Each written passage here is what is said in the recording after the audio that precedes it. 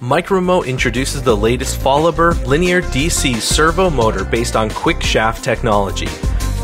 The LM0830, an 8mm powerhouse with peak force up to 2.74 newtons. It is ideal where high precision linear movement in the most compact dimensions is vital in applications such as medical imaging and diagnostic systems, lab automation, and a variety of robotics.